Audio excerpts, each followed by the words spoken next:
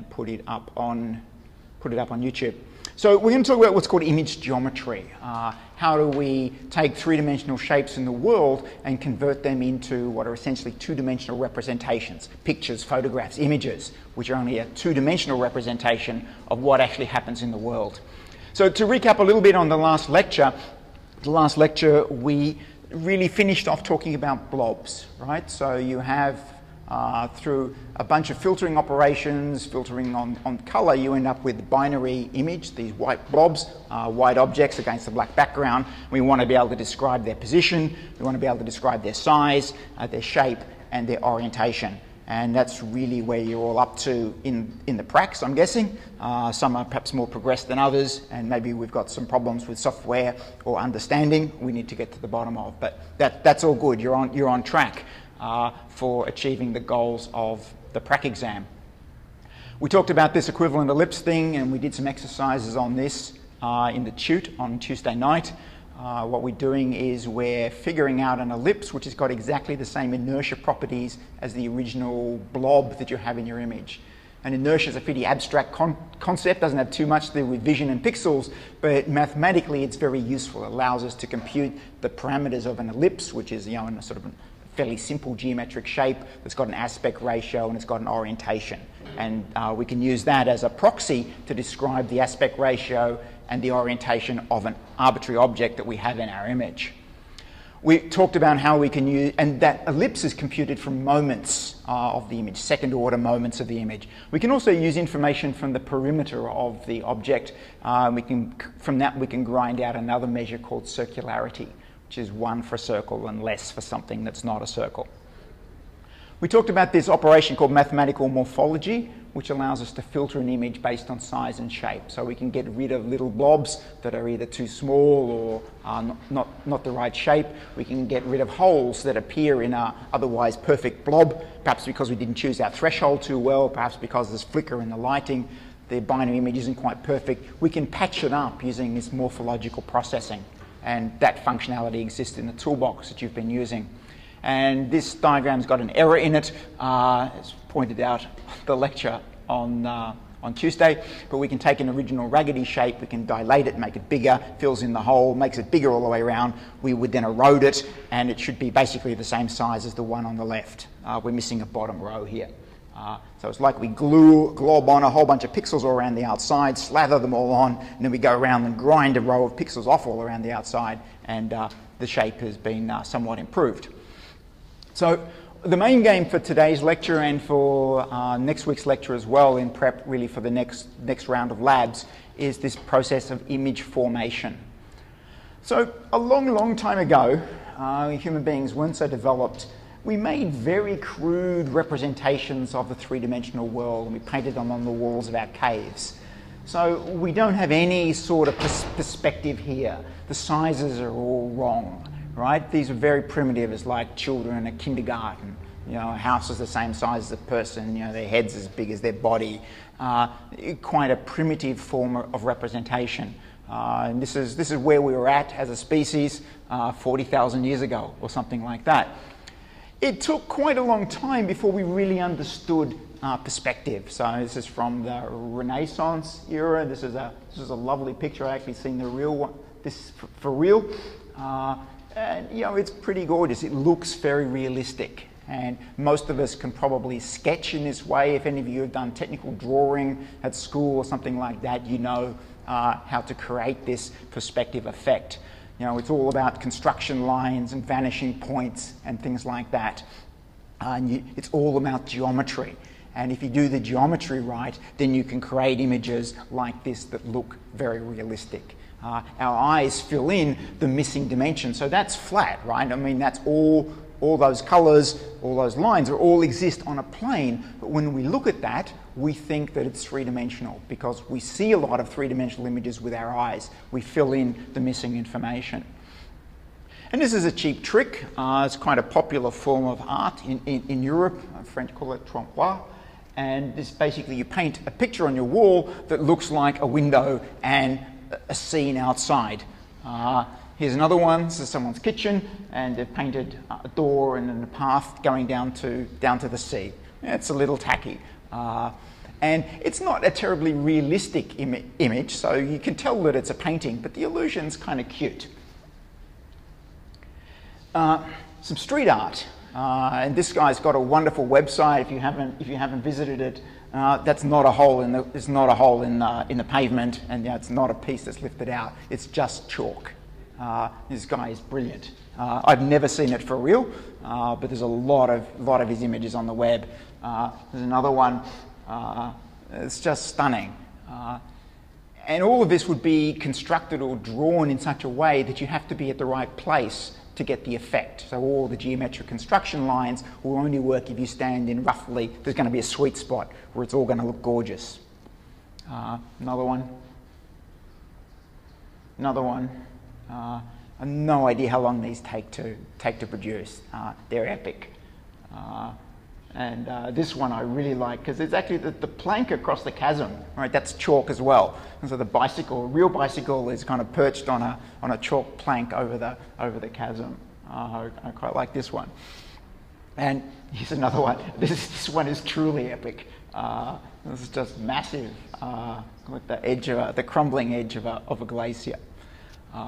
But clearly, this is not three dimensional, right? This is two dimensional. This is drawn with chalk on a plane. So we know it's flat, but our eyes are so good at filling in the missing geometry uh, that we get a very vivid uh, sense of depth perception. Uh, and you can mess with that. And so probably most of you know this, uh, this picture by Escher, uh, which again, it's, uh, it's, it's a plane, right? And he's made it look three dimensional, and then he messes with your mind because it's clearly not possible to have this thing in three dimensions because the water is just flowing endlessly downhill, right? Uh, so if you, you, you, follow the path of the water from up, falls from the top over the water wheel and then runs back onto the top of the, uh, up to the top again. Uh, and Escher's got quite a lot of pictures that mess with the three dimensions in this kind of a way. So there are a lot of cues that we look at and give us uh, ideas about size and, and relative depth, and we can be momentarily tricked. Uh, so this is one I found on the web, some random lady somewhere. And at first glance, you think, what? She's got a very little friend. Then you look and you see it's, it's quite posed. And if you go to the Eiffel Tower or the Leaning Tower of Pisa, you see all these people taking pictures and holding it like this, sitting it on their head and, think, and so on. Uh, but at first glance, you get a very striking impression of what's going on here, and then your rational mind kicks in, and you think, no, that can't really be the case. So what we're going to do is we talk about how images, um, how images are formed. So here is a picture of uh, Neptune. Uh, don't know where that was from. And we're just going to pick, for example, a number of points uh, on the statue of Neptune. So I'm just going to pick some points on his knee, on his hand, and whatever. And we've talked already about how, how light uh, falls onto, onto a scene. So here's some light uh, coming in uh, from, the, from the sun from the blue sky and it lands on Neptune and it, all these different points in the scene then scatter that light in all sorts of different directions, yeah? And I've only highlighted five points here. Every single point on the statue of Neptune is reflecting light that's coming in. Yep. And we talked about the two different ways that light's reflected. We have this specular reflection, that's the reflection that happens off a mirror and we have the reflection that happens off a rough surface. It's called Lambertian uh, reflection, Lambertian scattering, and that happens from diffuse or matte surfaces. And I gave the example of the moon as a perfect example of, of a Lambertian scatterer. So although the moon is actually spherical, and the edges of the moon that you can see there, the normals are pointing almost sideways. It really is very spherical, but it looks actually quite flat. It looks uniformly oriented, even though some parts of the surface are pointed very, in a very different direction to you.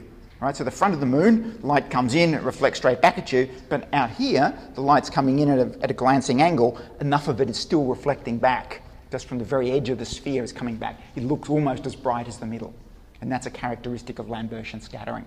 So going back to our, our statue of, uh, of Neptune, light's coming in, some of it's going to come back in a specular fashion, most of it's going to come back in a Lambertian fa fashion. It's made of stone, it's rough, it's a matte surface. So there are all those points in the world, and let's just, if I hold up, so there's a, a statue of Neptune over there, light coming off it, right, and I hold up a piece of paper. What am I going to see on the piece of paper? I'm going to see an image of, of, of Neptune? No. So every point uh, on this piece of paper is going to be illuminated, is going to have some light hitting it that comes from almost every point on the statue of Neptune. And that's what I've shown in these rays here, right? That they, from all these many, all these many points, uh, all illuminate any point that I might choose to, uh, to have uh, on, my, on my image plane. So if I just hold up a piece of paper, no image is formed. It's just, it's the average of all the light that's coming from the scene. Uh, if I order the rays in some ways and I put a, a, plane in front, an opaque plane with a hole in it, then we do some ordering. And so the rays that come from all these different points on the statue of Neptune pass through this thing, this little hole, an aperture, often called a pinhole, uh, and it creates an image that's upside down Uh, on any plane that I have behind it. So if the statue of Neptune's over here, I hold up a piece of white paper, I don't see anything on this. But if I build an opaque wall and put a little hole in it, then I will get an image of the statue upside down on my piece of paper. So anyone ever done this? Anyone made a pinhole camera when they were a kid? All right, I've done that. So you just get a cardboard box and you put some greaseproof paper over one end, you put a aluminium foil sheet at the other end, put a hole in it, and you get a very, very dim image. Uh, so this is an effect that's been known, I think the Chinese known this for 5,000 years or something, uh, and this is a very old picture, I think 1500s or something like that. So you have a temple, dark inside, you put a little hole in the wall of your temple, and if it's bright outside, you get an inverted up an inverted image projected on the inside of the wall of your temple. Doesn't have to be a temple, any room would do. So here are some pictures that I found on Flickr, I think, of people who've uh, been staying in hotel rooms and the blind is such that, or the curtain, there was a little hole in it, and the, it, and the room was otherwise dark, and it created an inverted image of outside onto the wall of their hotel room. So in the background, you can sort of see, you can see doors, you can see the floor, you can see a cupboard, and superimposed on that is an upside down image of the outside world. Uh, I've never, I've never experienced this, but anyway, there's quite a bunch of pictures out there of people who've, uh, who've done this. Uh, some crazy people uh, at a retired, retiring Air Force base in the US built the world's largest pinhole camera. So they got a whole aircraft hangar, made it all light proof. They put a little hole in one end, and then they put up a big uh, big piece of negative film, right? So this big piece of cloth that you can see all those people down there holding, they made that, uh, they soaked it in uh, light sensitive chemicals and then they held it up there and they did a really, really long exposure. And so they made basically the world's largest photograph. Uh, it's basically as big as the edge of a hangar. And there's a URL there you can actually go and uh, you can look at it and see how they, how they produced it. That's, it's pretty awesome. So this is, there's no lens, there's no glass in this, it's just a very dark room with a hole in one end, produces an image. It's a very dark image, and that's why you need to take a really, really long exposure. So let's go back then to the, the example that I've been using, our, our statue of, of Neptune. And uh, so all the rays go through the pinhole and hit what we call the image plane. That's the plane on which the image is formed. The image is upside down. One of the problems is that the image is very, very dark. So anyone want to hazard a guess as to why the image is so dark?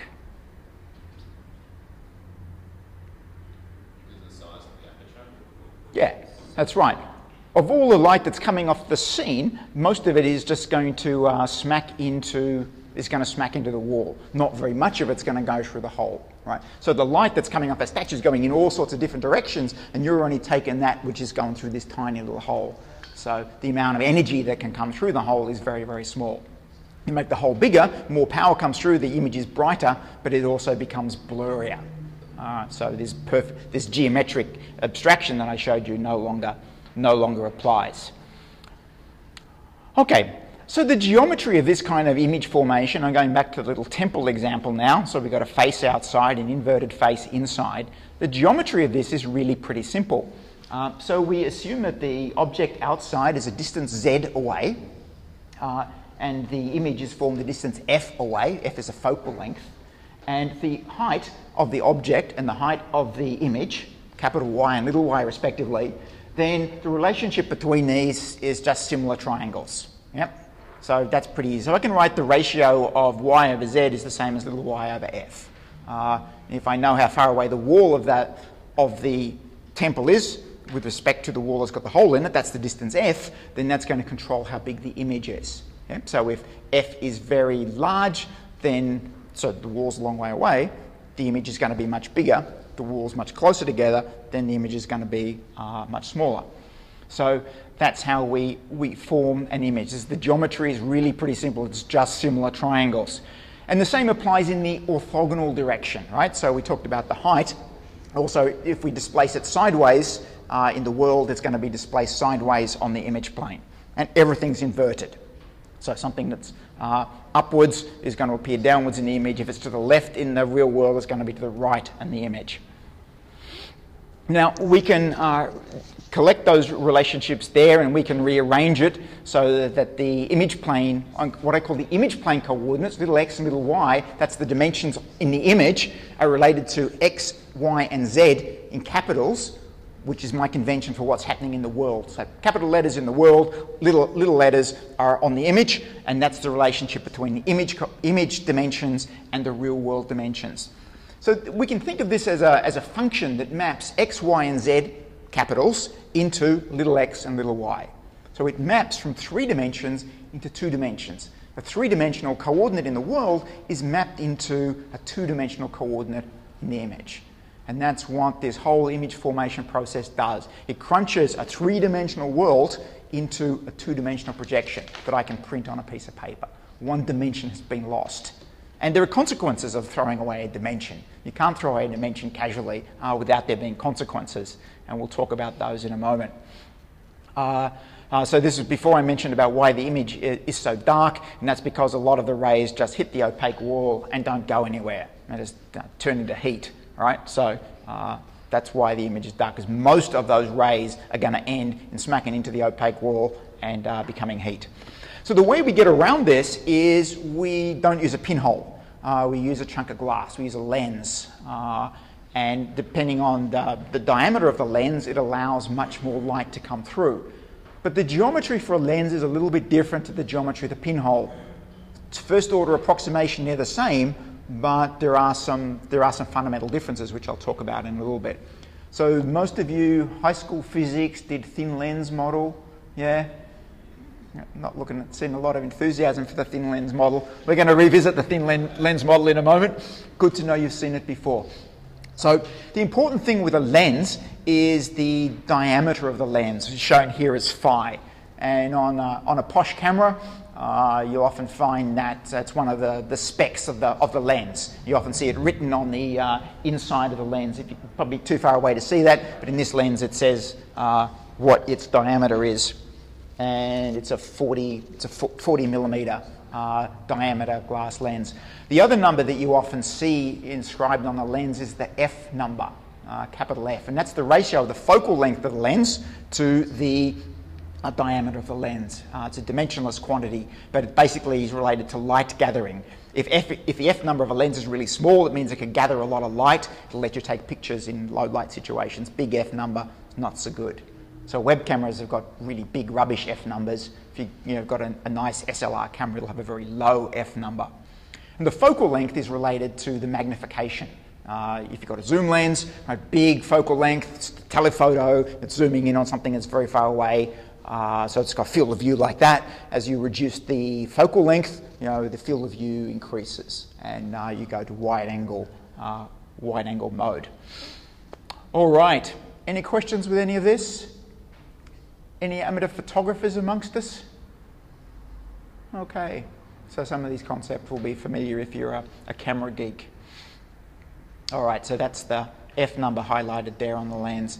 This is a picture that I really love. This crazy guy, George Lawrence, back in 1900, he was contracted by a railway company who were very proud of their new locomotive. So they contracted him to build the world's biggest camera to take a picture of what was probably the world's biggest or the world's best locomotive at the time.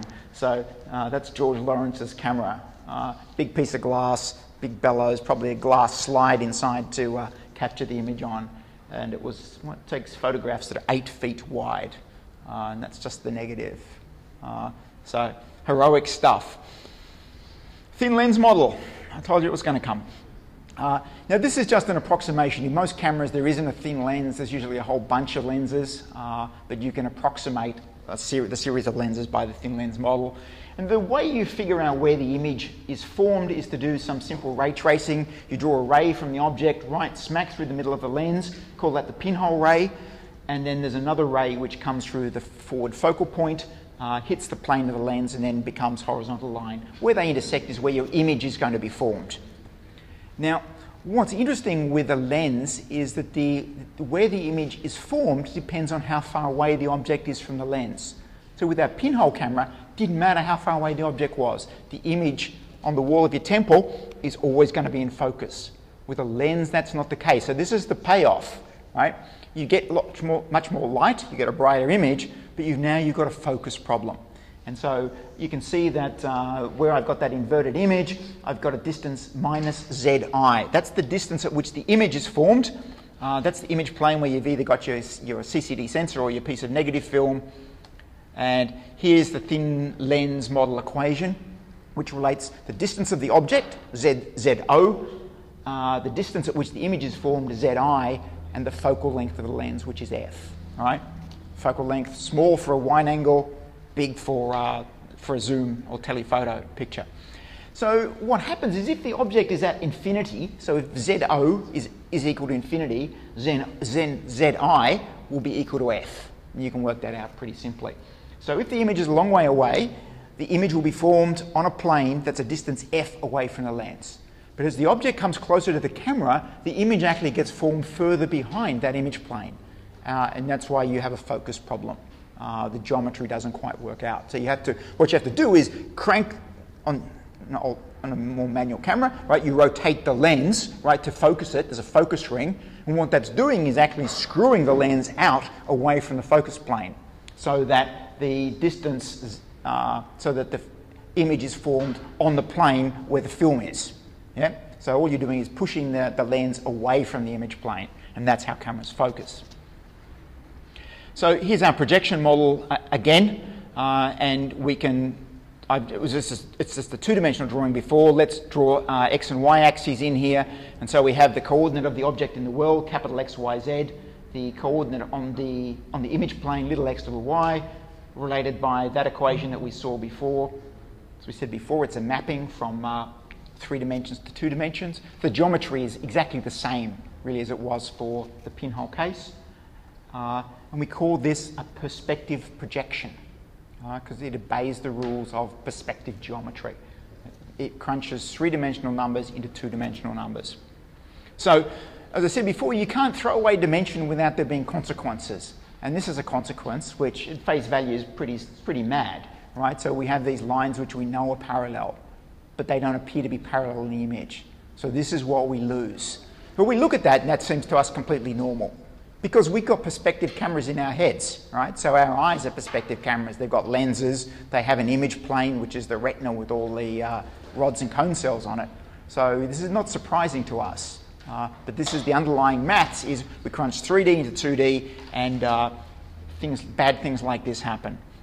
Uh, here's another one, picture of some trees, uh, which are all vertical uh, and, and parallel, but they all appear to be converging. Uh, here's another one, so this is the wheel across the river, and yeah, we know it's a circle, but it looks like an ellipse if you look at it from anything apart from normal to the plane of the wheel. So what's going on here, this perspective projection that we wrote the equations for before maps 3D to 2D. The consequence is lines always appear as lines, right? That's the good thing. So we saw that with the railway tracks. But parallel lines are not necessarily mapped to parallel lines. There's only one case when parallel lines are mapped to parallel lines in the image. Anyone know what, what situation that is? Yeah, yeah, so the lines are in a plane and your camera is looking at that plane, norm, normal to that plane. Yep. In that case, then your parallel lines will be parallel. So the perspective projection does not guarantee parallel lines are mapped to parallel lines. They, they will be in one special case, but not in general, no. The other consequence then is that angles are not preserved.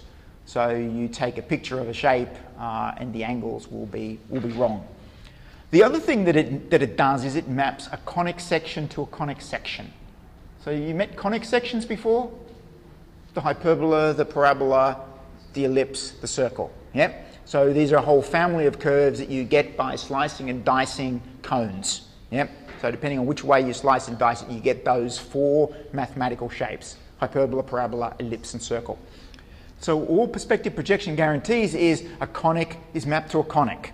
So we saw before in the case of the wheel across the river, it maps the conic, which is a circle, to another conic, which is an ellipse. So these are the rules uh, that apply to any shapes that are, uh, that are observed using this perspective projection that we get from a pinhole camera or a camera with a lens. The other consequence of this perspective projection, say we've thrown away a dimension, uh, is I say that there's no unique inverse. So if I've got a picture of something on the wall of my temple, right, there's a shape there, I can't tell how big is the object that cast that image because that face will create an image like that and so will that one and that one and that one and that one. So the other thing you can't tell is really how big something is. You can't tell whether, I'm looking at somebody, are they a really tall person a long way away or are they a, um, a very, very short person very close to me? Now, that's a sort of absurd example because there's a whole lot of other cues that you would use and you've got a whole lot of domain knowledge. You know that people are only going to be within this kind of size range. But in general, you can't tell a large distant thing from a close near thing. And this is a topic we'll, re- we'll return to in some of the lectures very late on in this, in this unit. You, you can't tell the absolute size of something unless you've got some other hints. And there are lots of other hints. We use maybe eight or nine different sorts of, we call visual cues, to figure out how big things are and how far away they are from us. Uh,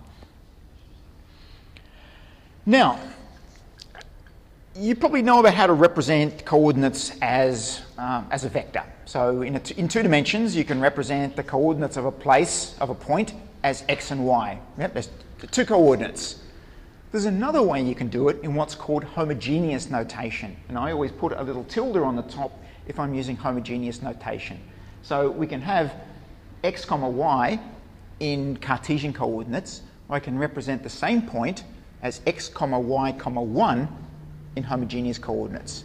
And you're going to say, well, okay, that's okay, that's fine, but it's a bit daft. Why do I want to just put an extra number on? You'll see in a little bit why we'd want to do that. So we refer to these as, homo as homogeneous coordinates, the ones that have got, actually got three numbers, and Cartesian coordinates, the ones you're more familiar with from, uh, from, uh, from geometry and, and what, whatever else. Now we can convert between the two. To convert a Cartesian coordinate to a homogeneous one, I just whack an extra one on the end, yeah? Uh, so it's got three numbers. To come back the other way, if I've got a homogeneous coordinate with three numbers in it, I call them x tilde, y tilde, z tilde. To bring them back, we divide by the third element. So we take the first element, divide by the third, the second element, and we divide by the third. This is starting to look suspiciously like the projection equation that we had before, right, with the z's in the bottom. Uh, and this is why homogeneous coordinates are gorgeous. Uh, so I can, if I write this relationship here in matrix form, so I have x, y, and z, the world coordinates of something, multiplied by that matrix, we can multiply that out. We can see that x tilde is equal to f times capital X, uh, and so on. And if I convert those homogeneous coordinates back to Cartesian coordinates by dividing by the third number, then that is the relationship that we had before. Yeah? So what's really good here is that this perspective transformation involves dividing by z. Right? That's why it, that's why it does funny things to scale. That's why things that are far away look smaller because we divide by z. That's why lines that the railway tracks appear to come closer together because the further apart away we go, z gets bigger and we're scaling it by z. So things appear to get smaller and closer together, right? So it's very it's a non-linear operation because we're dividing by something. But if we do it in homogeneous coordinates, the, divi the division's gone away. It's completely linear, uh, and that's really very powerful. Uh, so this, when you do this perspective transform, this annoying divide by z thing goes away. Uh, this stuff is not going to be in the exam. It's sort of it's mathematical. It's useful. It's going to be helpful to us in the next lecture to derive something that you're going to use in the prac. So just sit back and enjoy the gorgeousness of homogeneous coordinates. Uh, that matrix there, we can actually split into two pieces. Uh, we can factor it out, and this the matrix on the right-hand side is really doing the scaling and zooming. It's multiplying by f. Uh, so that's where the, the focal length comes in, and the matrix on the other side is just doing a dimension elimination. It's taking three-dimensional numbers and throwing away one dimension. Uh, so that's what that matrix does. So that's another way of, another way of thinking about it. Now, oftentimes in computer graphics and in computer vision, people do things in a slightly different way. So instead of having the world and then a pinhole or a lens and then the image, right, they rearrange it and they put the image plane in front. And so the rays come from the world, they pierce the image plane, and they all converge on the origin. This is called the central projection model. Uh, it's, the maths is exactly the same, but you often find books, people sometimes flick between this central projection model, which is, look, is different to the, the pinhole and the lens, which is very intuitive. Uh, this is less intuitive, uh, but you often, often see it in the literature. And then we can do, if, if our image is a digital image, then we can say, okay, on that image plane, we divide it up into little cells, they're the pixels, and we put a coordinate system across the top. We have a u-axis and a v-axis, and then we have to introduce another matrix to do some scaling from meters, uh, which is in sort of natural dimensions on the plane, into pixel dimensions. So we divide by the dimensions of the pixel, and then we end up with numbers that have got coordinates of pixels rather than coordinates of meters. And you can do some, uh, some more crazy stuff, and I'm going to go really quickly through this. You can cascade all these matrices together. You have another matrix which says where is the camera in space, what's its orientation, what's its position, and then you can end up with a completely general expression that says if I know where my camera is, I know its focal length, I know the position of a point in the world that that camera is looking at, I just crunch through all these numbers and come up with its coordinates on the image plane of that particular camera. Right? It's all done very beautifully in matrices and using homogeneous coordinates. Not examinable, just gorgeous. All right. So these are some of the, the consequences of perspective projection that I mentioned before. And this perspective projection model, it does crazy things like make lines parallel, make circles into ellipses, uh, but we can sort of do it in the opposite way as well. If we understand the geometry, we can draw something in two dimensions that looks three-dimensional. Uh, so it's just the function and its inverse. It's all about geometry, and it's really simple geometry. Ultimately, it's just triangles, though you can express it very nicely in matrix form. There's many other ways that you can capture images uh, that are not perspective. So fisheye lenses, for instance, have got a really wide field of view. So with most cameras with a, with a glass lens, there's a limit to how small a focal length you can get. Uh, you increase the field of view out to about this, and then it's almost impossible to make a lens out of glass that can have a focal length that gives you a wider field of view than that. So you end up going to something like a fisheye lens, which can have easily 180 degree field of view. You can see all of that. The consequence of that is we can't even make the rubbish laws of perspective projection hold. So now lines don't appear as lines, right? They appear as circles. Uh, so there's a new type of geometry applies here. I'm not going to talk about that, but basically lines get mapped into circular arcs. Uh, but artistically, really, really useful. And for robots, actually quite useful as well. It's useful for a robot to have a big field of view and it can crank through the maths and work out. If you've got a good model of the lens, I can work out what is a three-dimensional shape of things, even though they look very distorted in the image.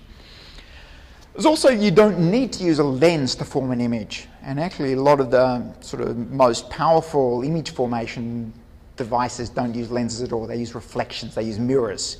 So Newton built the first reflecting telescope way back, 1670 something, because he had trouble making a lens that was big enough. It's much easier to make a mirror, uh, a big mirror, than it is to make a big lens. And so you know, he built a, a the first reflecting telescope Hubble telescopes, reflecting telescopes. So the biggest telescopes on Earth are all reflecting telescopes and biggest telescopes in space. So here's a, a, a type, of, a type of imaging device, a panoramic camera. So it's, it's uh, down the bottom there is a, a, normal camera with a glass plate on top and then a stalk, and suspended on the top of the stalk is a mirror.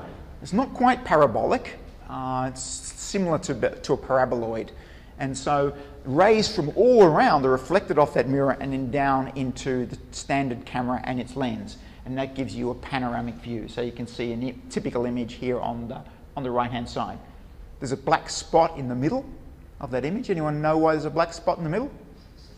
It's the stalk, yeah. The stalk's a bugger, and there's not too much you can do with, with that. Sometimes they uh, have a glass tube and uh, suspend that from, uh, from, the, from the walls of the glass tube. Some cameras have three uh, supports around the outside, so you don't have a spot in the middle, but you then have three blind spots around the outside. Uh, so this is a panoramic camera, and you can buy these as attachments for, for your camera. Uh, again, the geometry is quite weird. You can see the lines are going to be mapped into, uh, into curves. The only lines that map into lines are those that are radial. So next thing I'm going to do is just talk briefly about the focus problem.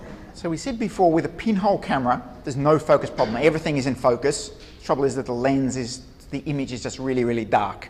So the, what we need to do is if I, have drawn here now in the bottom right a whole bunch of rays. So from the object through the lens, and they all converge on a point on the image sensor, which I've drawn there as a kind of gridded thing. Yeah? So all of those rays appear at a single pixel on that sensor.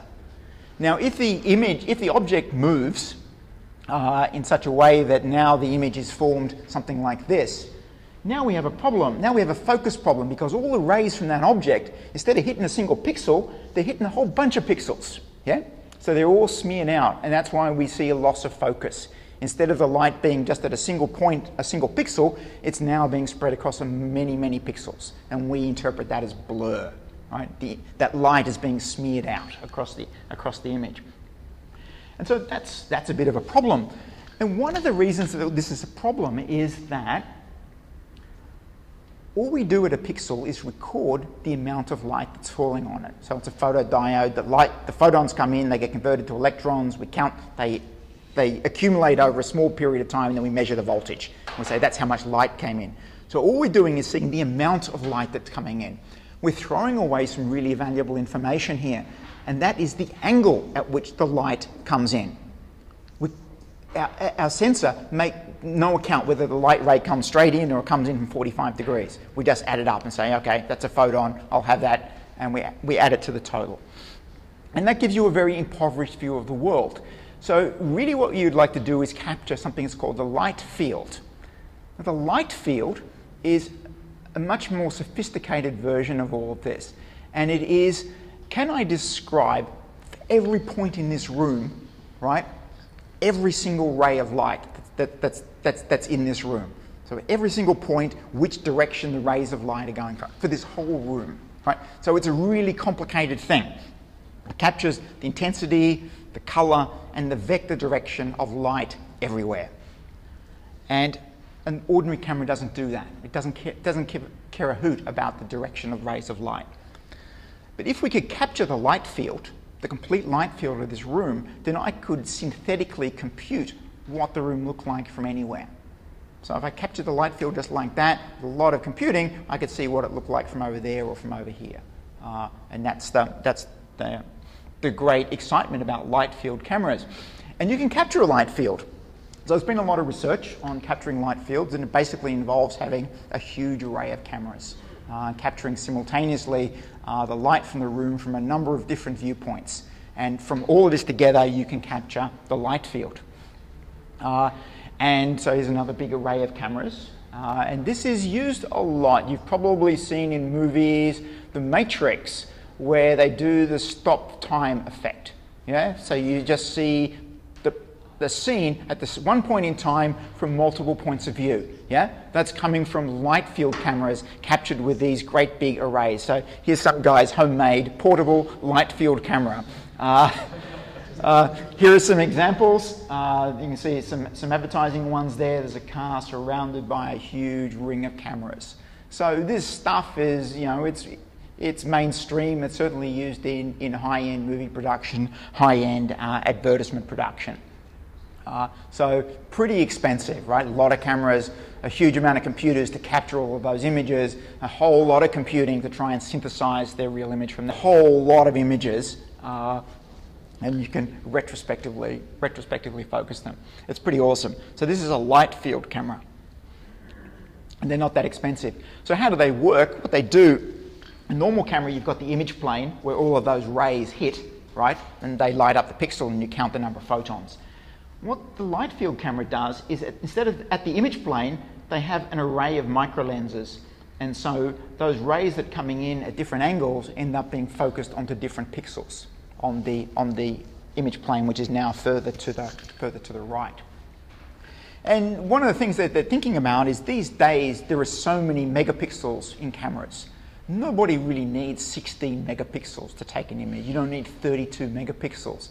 So what they did is they made the choice, well, okay, let's trade off some of the megapixels for recording information about the angle. So the Lytro only produces one megapixel image, which is pretty crude by modern standards. But they take something like a 16 megapixel camera and use a 4 by 4 grid of pixels uh, to represent the different angles that the ray is coming in at. So that's their trade-off. They're having, uh, you end up with less pixels, but at each pixel then I know the angle of the ray. And from that then I can compute the light field, and from that then I can do this cool retrospective focusing. So that's the design trade-off that they made. Because the, the guys who are building sensors keep upping the number of pixels, and most people are saying, you know, the hard drives are just filling up with images, right? it's just, it's too much. So I think it's, a, it's quite an interesting, quite an interesting trade-off. So today's been a bit of a, bit of a rave around image formation. Uh, most of it's, uh, I think, just because I, I, think it's interesting and cool, uh, but some of it we will use uh, to come up with some techniques that we will use in the prac. So take-home message is that the simplest camera model you can make is a so-called pinhole camera, produces images which are inverted and dark. We can whack in a lens to gather more light, uh, but that then gives us, we have to focus the camera then. Uh, pinhole, we've never had to focus. The trade-off is we need to focus. All of these things, that when they create an image, you crash out of dimension. 3D becomes 2D. And there are consequences of this, right? The consequences are on, uh, on lines, on parallelism, on angles, uh, and on conics being mapped to other conics. Uh, it's a nonlinear relationship, inversely scaled by depth. Uh, it's linear if we express it in terms of homogeneous coordinates. Homogeneous coordinates, we are going to meet again. Uh, uh, they're your friend. And, that there are many other ways to form images, right? You can have not just the normal camera uh, that you're familiar with in your phone, that you have in your head. Uh, you can have fisheye lenses, panoramic cameras, light field cameras. There's lots of ways of gathering, gathering images. So that's it for today. Uh, we'll go again on next Tuesday and we'll carry on this image formation theme. If you want to go on the field trip and you didn't put your name on the sheet last night, come up and put your name on the sheet. Thanks.